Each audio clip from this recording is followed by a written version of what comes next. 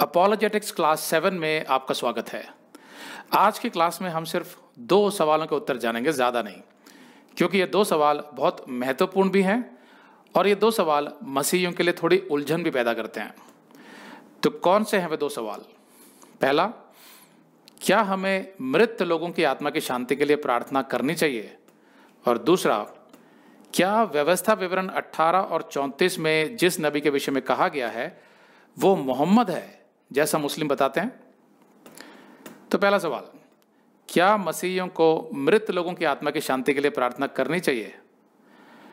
कुछ धर्मों में आपने सुना होगा, जहाँ लोग मृतकों के लिए कहेंगे, परमेश्वर उसकी आत्मा को शांति दे। May God rest his soul in peace अब ऐसा कहने के पीछे हो सकता है, लोगों की कोई भावना हो, या मरने वाले के प्रति सम्मान हो, या कोई धार्मिक विश्वास भी हो सकता है।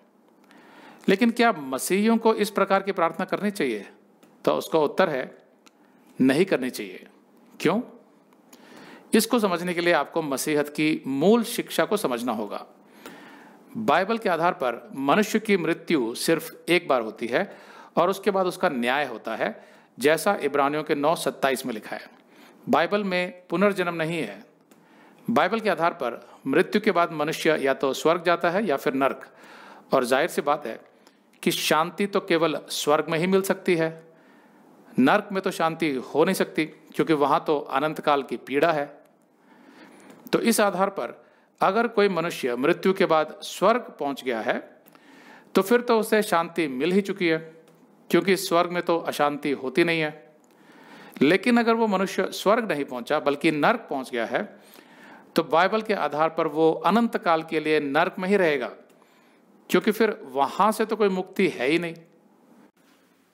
माना कि अगर कोई अविश्वासी आज मरता है तो बाइबल के आधार पर वो अभी नर्क नहीं जाता बल्कि अधोलोक में जाता है। लेकिन यह तय है कि यीशु के श्वेत सिंहासन के न्याय के पश्चात वो निश्चित रूप से नर्क ही जाएगा। इसलिए जब मैं यहाँ कह रहा हूँ कि अविश्वासी नर्क जाता है तो मैं उसकी आखिरी मंजिल के विषय में कह रहा हूँ जो पहले से तय है।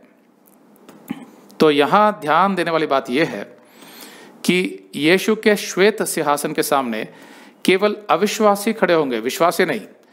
जैसा मैंने अपने यूट्यूब के एक वीडियो में विस्तार से समझाया हुआ है। यीशु के श्वेत सिंहासन के विषय में आप प्रकाशित वाक्य 20 11 से 15 में पढ़ सकते हैं। तो सवाल यह है कि अगर केवल अविश्वासी ही यीशु के न्यायासन के सामने खड़े होंगे तो फिर यीशु उनका न्याय क्या करेगा? क्योंकि उन्हें तो नर्क में ही डाला जाएगा। तो उसका उत्तर है कि न्यायासन के सामने यीशु उन्हें दिखाएगा कि उन्हें नर्क क्यों भेजा जा रहा है, ताकि उनके दिल में कोई सवाल ना रहे। जैसा प्रकाशित वाक्य बीस बारह में लिखा है। तो उस लिहाज से मृत्यु के बाद अगर किसी का नर्क जाना तय हो गया तो फिर किसी के प्रार्थना करने या दुआ मांगने से, या कोई रीति रिवाज करने से, या कुछ धर्म क्रियाएँ करने से, वो नर्क से स्वर्ग कैसे चला जाएगा? नहीं जा सकता। उसका फैसला तो उसी घड़ी हो गया था, जब उसकी आखिरी सांस यहाँ पृथ्वी पर खत्म हो गई थी। अखबार में जो ओबिचुअरी अर्थात निधन सूचना आती है, उसमें हर मृतक के नाम के आगे स्वर्गीय लिखा होता है। नरकीय किसी के नाम के आगे नहीं लिखा होता, चाहे वो कितना भी बुरा मनुष्य क्यों ना रहा हो अपने जीवन में।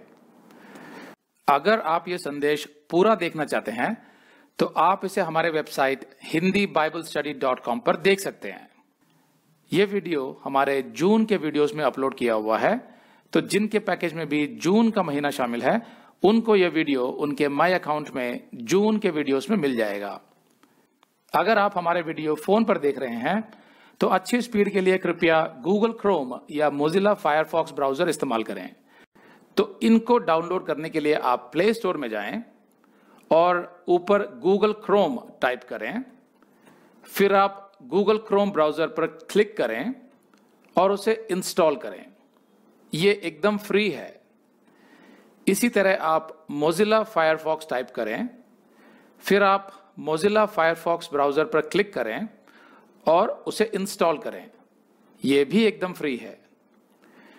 इसके बाद आप गूगल क्रोम ब्राउज़र को क्लिक करके उसे खोलें और उसमें Hindi Bible study dot com type करें।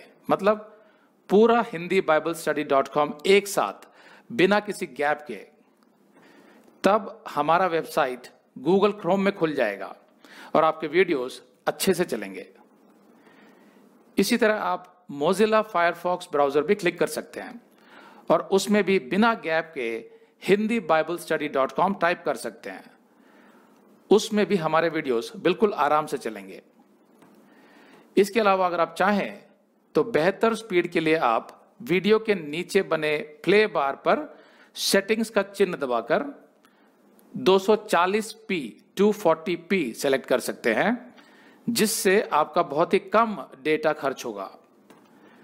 240 सेलेक्ट करने के बाद आप वीडियो के बाहर कहीं भी क्लिक कर दीजिए, फिर वीडियो को पीछे ले जाकर शुरू से देखिए।